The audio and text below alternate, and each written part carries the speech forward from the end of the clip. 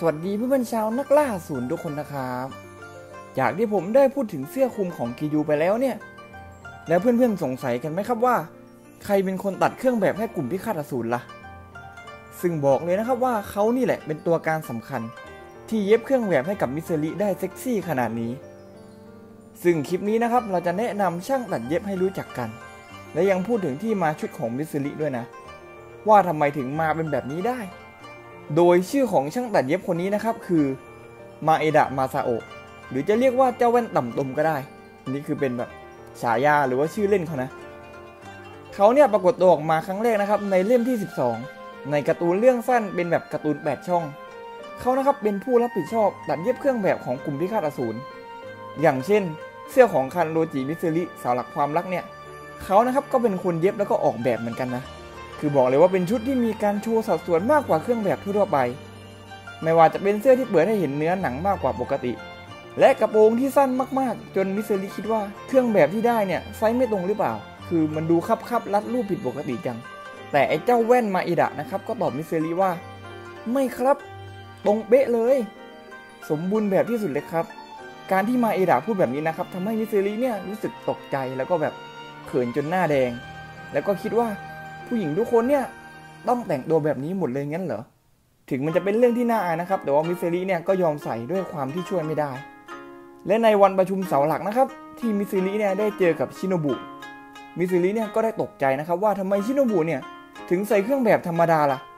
เพราะมาซาโอะนะครับเคยบอกมิตสึริว่าเครื่องแบบของมิตสึริเนี่ยปกติดีสมบูรณ์แบบ perfect ทำให้มิตสึริเนี่ยนึกว่าทุกคนที่เป็นผู้หญิงนะครับจะใส่เครื่องแบบเหมือนกันหมดเลย แต่พอไปเจอชิโนบุเท่านั้นแหละ ชุดของชิโนบุนี่คือธรรมดากว่าที่คิดครับ ไม่มีการโชว์เนื้อหนังโชว์สัดส่วนอะไรเลยทำให้มิตสึริเนี่ยรู้สึกแปลกใจมากๆ แต่บอกเลยนะครับว่าชุดที่มิตสึริใส่นั่นนะเป็นรสนิยมของไอ้เจ้าแว่นมาซาโอะล้วนๆเลยนะ คือมันชอบแบบให้ผู้หญิงเซ็กซี่อะไรอย่างงี้ไง มันก็เลยแบบทำชุดแบบนี้แล้วก็มันก็โกหกมิตสึริว่า perfect เลยครับชุดแบบนี้ แต่ว่าชิโนบุก็บอกนะครับว่าจริง ๆ ตอนแรกเนี่ยเขาเนี่ยก็ได้เครื่องแบบแบบของมิตสึริมาเหมือนกัน แต่ว่ารับไม่ได้ที่จะต้องใส่ชุดแบบนี้ก็เลยสาดน้ำมัน แล้วก็เผาเครื่องแบบนั้นนะครับต่อหน้ามาเอดะไปเรียบร้อยแล้ว พร้อมกับบอกมิตสึริว่า ให้ยืมน้ำมันกับไม้ขีดเอาไหมนี่ก็เตรียมให้กับคานาโอแล้วก็อาโออิแล้วด้วย แสดงว่าที่จริงผู้หญิงหลายๆคนนะครับ ก็ได้เครื่องแบบแบบของมิสซิริเหมือนกันทั้งนั้น แต่สุดท้ายนะครับหลายๆคนเนี่ยก็คงเปลี่ยนชุดกันหมดแล้วแหละคงไม่มีใครแบบอยากใส่แบบนั้น ของชิโนบุเนี่ยก็เปลี่ยนเป็นเสื้อกับกางเกงธรรมดา และของคานาโอะนะครับก็เปลี่ยนเป็นเสื้อกับกระโปรง แต่ว่าเป็นกระโปรงที่ยาวกว่าเดิมนะ ส่วนของอาวีนะครับก็จะคล้ายๆกับของชินโนบุเป็นแบบเสื้อกับกางเกงแทน ซึ่งเป็นเสื้อที่เรียบร้อยนะครับ ไม่มีการเปิดให้เห็นเนื้อหนังไม่มีการเปิดอก และในนิยายเล่มที่2นะครับผีเสื้อปีกเดียวเนี่ยก็ได้เปิดเผยถึงสาเหตุที่มิตสึรินะครับยังใส่เครื่องแบบชุดเดิมอยู่นะทั้งที่ตัวเองเนี่ยก็ไม่ชอบเครื่องแบบเดิมสักเท่าไหร่อะแต่ทำไมถึงยังใส่อยู่ล่ะ เพราะว่ามิตสึรินั้นนะครับไม่สามารถตัดใจ เผาชุดทิ้งต่อหน้ามาเอดะเหมือนที่ชิโนบุทำได้ เพราะว่ามันเป็นการทำร้ายจิตใจเขาเกินไป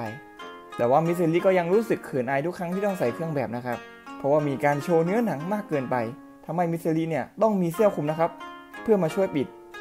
และยังใส่ถุงเท้ายาวที่โอบานายเนี่ยเป็นคนให้เพื่อลดความเขินอาย ถือว่ามิสซิลิเนี่ยเป็นคนที่มีจิตใจงดงามมากๆ ที่คิดถึงความรู้สึกของผู้อื่น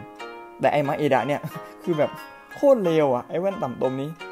คือมันเนี่ยพยายามเอาชุดที่แบบมีการโชว์เนื้อหนังเนี่ยส่งไปให้สาวๆสวยๆหลายๆคน แล้วแบบมันก็จะมีบางคนแล้วใช่ไหมที่ยอมใส่อย่างเช่นมิสซิลิแล้วก็ต้องมีคนที่ไม่ยอมใส่ก็แบบคนแบบชิโนบุนี่แหละ คือมันต้องเจอกับคนอย่างชิโนบุนี่แหละถึงจะเอามันอยู่ ก็ไม่แปลกเลยนะครับที่เขาจะได้ฉายาไปว่าไอ้แว่นต่ำตม แต่จากที่เห็นเครื่องแบบหลาย ๆ คนมีความแตกต่างกันนะครับ อย่างเช่นคานาโอชิโนบุ